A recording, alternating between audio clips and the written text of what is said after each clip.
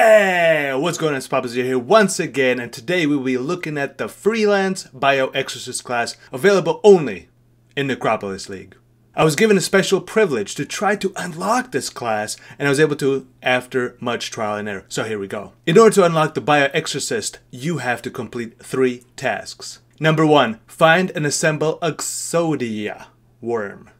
It's time to duel. Number two, procure a way to summon the legendary Dark Magician Girl. Number three, slay the elusive White Eyes Grey Dragoon. Wait a second, are you just advertising the new Beetlejuice? Bless you. Assuming this is real, have you tried to, oh, I don't know, say his name three times instead of going through all these tedious tasks? What are you talking about? Here, I'll go to the new character selection screen. Yeah, yeah, okay. Yeah, sure. Beetlejuice, Beetlejuice. Hi, how are you?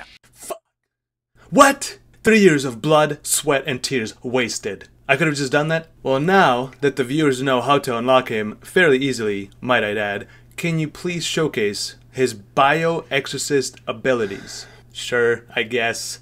Let's see, uh, here, here, uh, teleportation. Pretty good, right? Pretty good? Yeah. Is that just lightning warp? Change shape.